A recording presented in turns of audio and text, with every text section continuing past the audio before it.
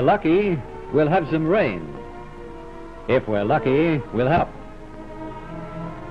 But all the talismans from the superstitious past are of no avail if the soil on which the farmer depends has lost the power to grow things.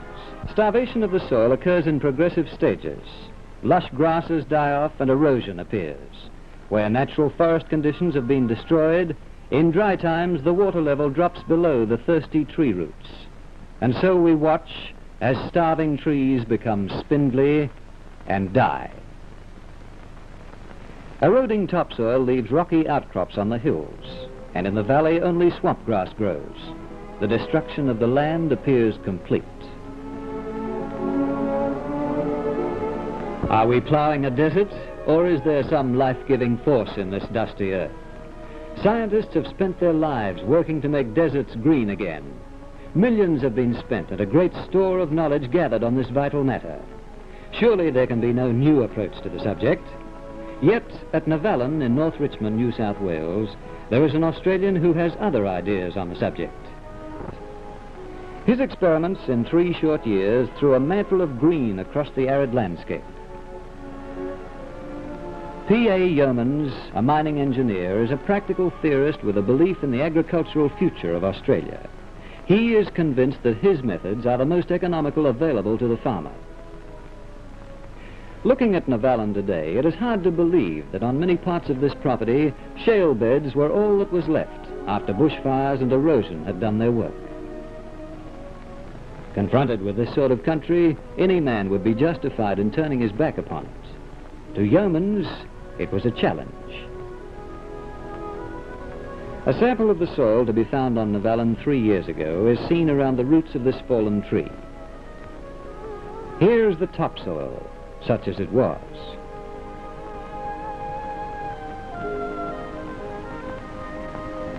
Here's the subsoil. And completely unchanged, the shale beds that formed the foundation of the area. There are too many scenes like this in the county of Cumberland. The topsoil compacted and poor, wiry grasses and spindly trees the only growing things. There's little to hold the rain when it falls. Future generations must inherit a land that has been nurtured, not impoverished. Yeomans in the earth, if only sunlight, air, and moisture can be made to act on it. A valley like this, in a good season, would receive 8 to 10 million gallons of water.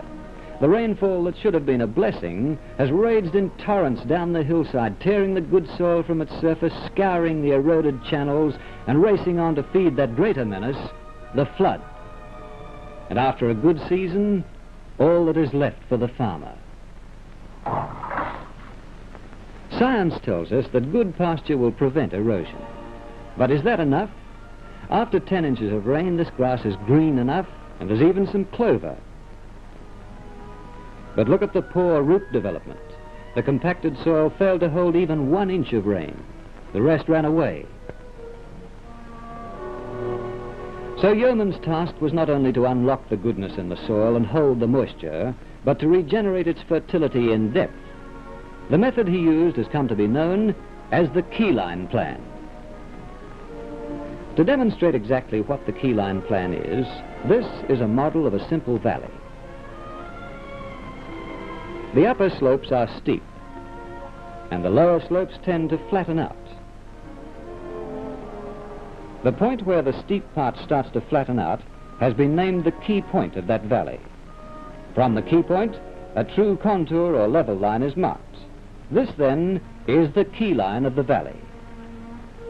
Well, now, if we look at the valley in section, the locations of the key point and key line become even more apparent.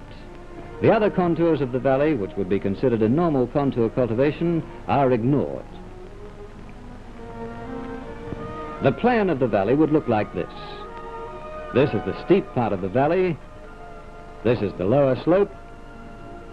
And here is the key line. In practice, this is how the farmer determines the key line of a valley. The point where the valley begins to flatten out is selected by eye. A stake is driven into the ground. This is the key point of the valley. From this point, an accurate contour is set out. In this case, a flexible tube containing water is used. One end of the tube is moved up or down the hillside, and the operators call the readings until the level is established.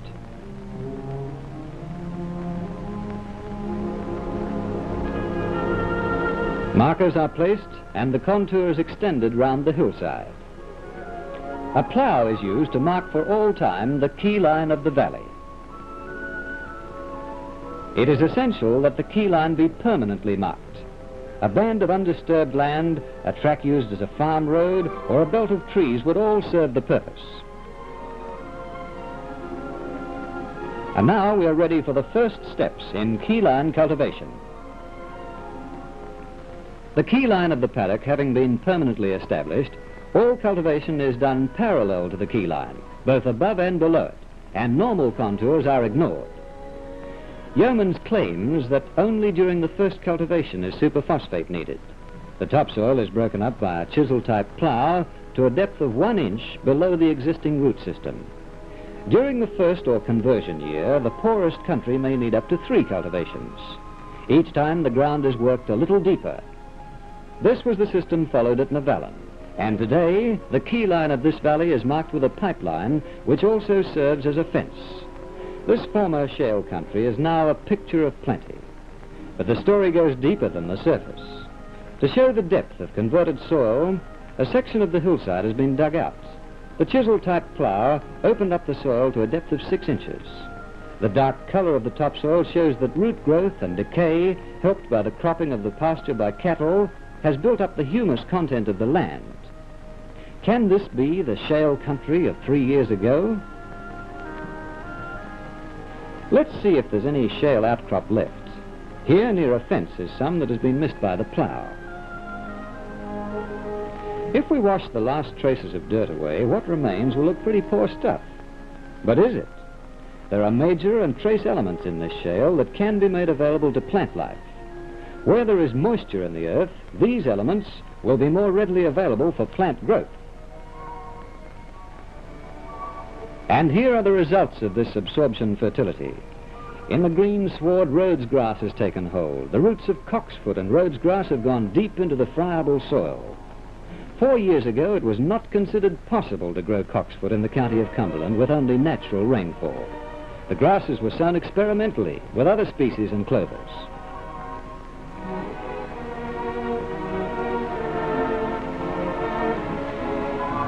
And here is another remarkable thing. As well as a healthy growth of sown clovers, in the last two years, white clover has come in without sowing. This despite expert opinion that white clover would not thrive in the county.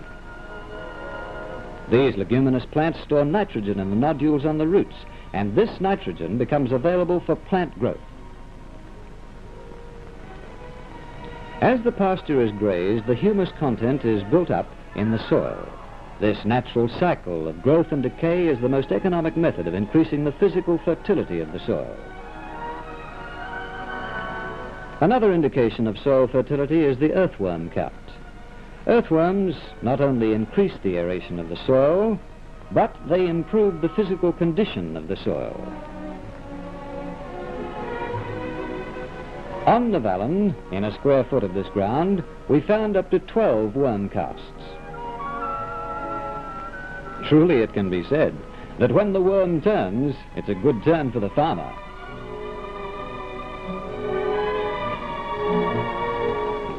On Nevallan, the land yielded an increased return in the first season, and today the soil is deep and highly fertile. The property has been used exclusively for fattening cattle.